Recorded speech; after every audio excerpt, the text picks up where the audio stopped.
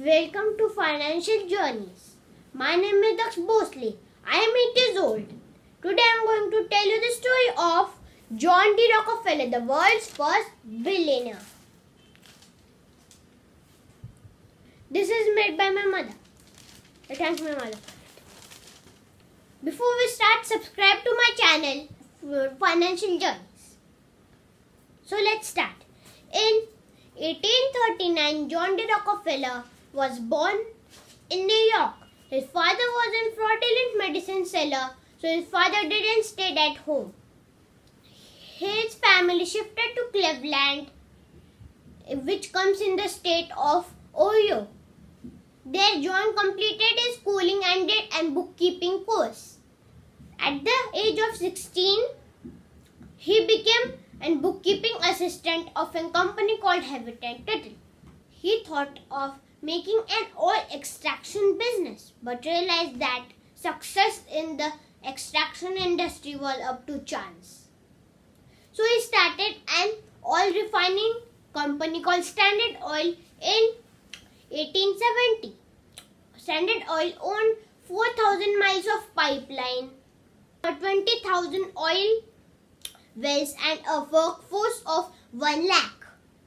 Rockefeller made exclusive and secret deals with railway companies, acquired refineries aggressively and created a monopoly with control over 90% of US oil refining business by 1880.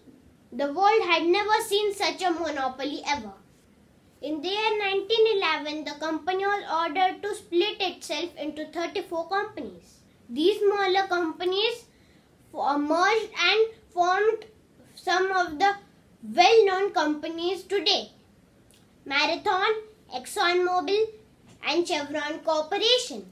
He gave $80 million to the University of Chicago and, donate, and he almost donated about $550 million. It is believed that Rockefeller was influenced by a meeting with Swami Vivekananda in 1893 to dedicate more of his wealth to philanthropic purposes. Uh, this is a list of the companies which were formed after the Standard Oil, after they were merged.